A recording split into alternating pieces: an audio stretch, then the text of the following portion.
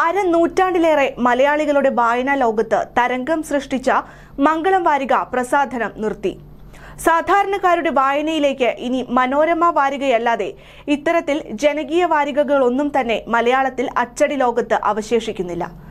മനോരാജ്യം പൗരധ്വനി മാമാങ്കം കുങ്കുമം ജനനി സഖി തുടങ്ങി ഇരുപതോളം ആഴ്ച പതിപ്പുകൾക്ക് നിലയ്ക്കാത്ത വായനക്കാരുണ്ടായിരുന്ന സംസ്ഥാനമാണ് കേരളം.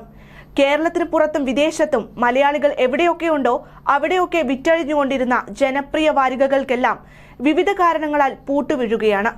ജനകീയ വാരികകളുടെ കോപ്പികളുടെ എണ്ണത്തിൽ അതിവേഗത്തിൽ ഇടിവുണ്ടാക്കിയത് കോവിഡും കടലാസ് വില വർധനവും മാത്രമല്ല. മലയാളികളുടെ ഓൺലൈൻ വായനാപ്രിയം കൂടിയതാണ്.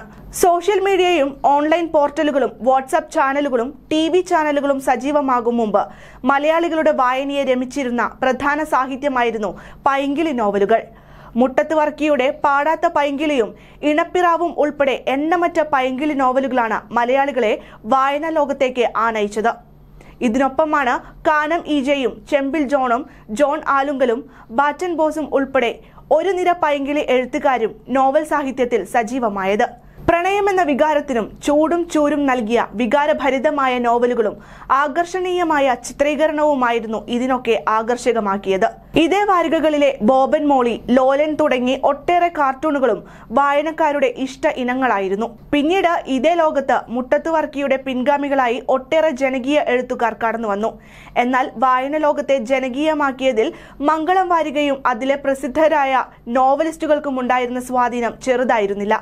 മാത്യു മറ്റത്തിൽ തുടങ്ങി ഒരേ വ്യക്തി തന്നെ നാലും അഞ്ചും പേരുകളിൽ ഒരേ ആഴ്ചയിൽ വിവിധ നോവലുകളുടെ എട്ടും പത്തും അധ്യായങ്ങൾ എഴുതിക്കൂട്ടിയ ചരിത്രം. മംഗളത്തിലെ നോവലിസ്റ്റ് മനോരമയിലേക്കും മനോരമയിലെ നോവലിസ്റ്റ് മംഗളത്തിലേക്കും പോകാതിരിക്കാൻ ഇരുവാരികകളും പ്രധാന നോവലിസ്റ്റുകളെ മുന്തിയ ശമ്പളം കൊടുത്ത് സ്വന്തം ഓഫീസിലിരുത്തിയ ചരിത്രവുമുണ്ട്. ഇവർ രാത്രി സമയത്ത് മറ്റൊരു വാരികയിൽ നോവൽ എഴുതുന്നില്ല എന്ന് ഉറപ്പുവരുത്താൻ നിരീക്ഷകരെ നിയോഗിച്ച ചരിത്രവും കോട്ടയം കേന്ദ്രീകൃത ആഴ്ച പതിപ്പുകൾക്ക് ഉണ്ട്. Kottayam Pushpanath Johnson Pulinkunnu Joicy Josy Vagamattom Sudhakar Mangalodayam Mallika Younis Kamala Govind P V Thampi Ettumanoor Sivakumar Prasannan Champakkara തുടങ്ങി അമ്പതോളം നോവലിസ്റ്റുകൾ വിവിധ പേരുകളിൽ നോവലുകൾ എഴുതിക്കൂട്ടിയിട്ടുണ്ട്.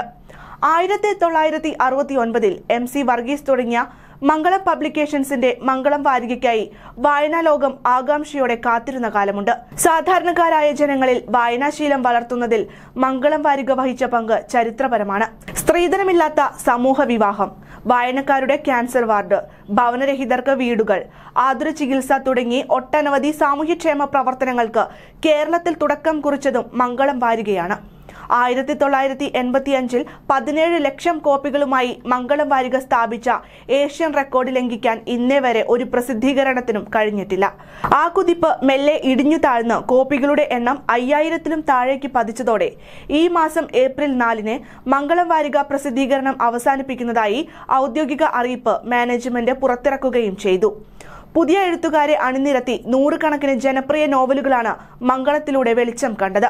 സാമ്പത്തികമായി ഇത്തരം പ്രസിദ്ധീകരണങ്ങൾ നഷ്ടത്തിലായതോടെ മംഗളം ഗ്രൂപ്പിൽ നിന്നുള്ള ബാലമംഗളവും സിനിമാ മംഗളവും ജ്യോതിഷ ഭൂഷണവും ഉൾപ്പെടെ ഏതാനും പ്രസിദ്ധീകരണങ്ങൾ നിർത്തിയിരുന്നു. ഇനി മംഗളം പത്രം കൂടിയ പ്രധാനമായും മംഗളം ഗ്രൂപ്പിൽ അവശേഷിക്കുന്നുള്ളൂ.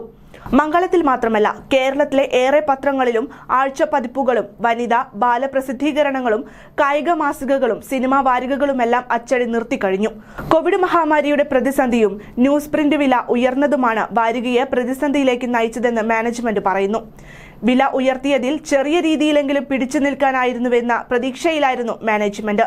എന്നാൽ ഈ രംഗത്തുള്ള മറ്റ് പ്രസിദ്ധീകരണങ്ങൾ വില വർദ്ധിപ്പിക്കാതിരുന്നതോടെ ആ തീരുമാനത്തിൽ നിന്ന വില പത്ത് രൂപ മാത്രമായിരുന്നു. മുൻപ് ഒരു രൂപ വിലയുണ്ടായിരുന്ന കാലത്താണ് പതിനേഴ് ലക്ഷം കോപ്പികൾ അച്ചടിച്ച് മലയാള മനോരമയെ വരെ മംഗളം വർഗീസ് ഞെട്ടിച്ചത്. എന്തായാലും മംഗളം മാത്രമല്ല മലയാളത്തിൽ ദിനപത്രങ്ങൾ ഉൾപ്പെടെ ഒരു നിര പ്രസിദ്ധീകരണങ്ങൾ ഏറെ വൈകാതെ പ്രസാദനം നിർത്താൻ നിർബന്ധിതരാവുകയാണ്. സമീപകാലത്ത് തന്നെ കേരളത്തിൽ മൂന്ന് പത്രങ്ങൾ അച്ചടി നിർത്തിയിരുന്നു. ആറു പത്രങ്ങൾ രണ്ടും മൂന്നും എഡിഷനുകൾ വെട്ടിക്കുറച്ചു. ഇത്തരത്തിലുള്ള അതിസങ്കീർണമായ പ്രതിസന്ധിയിലൂടെയാണ് മലയാളത്തിലെ അച്ചടി മാധ്യമങ്ങൾ കടന്നു പോകുന്നത്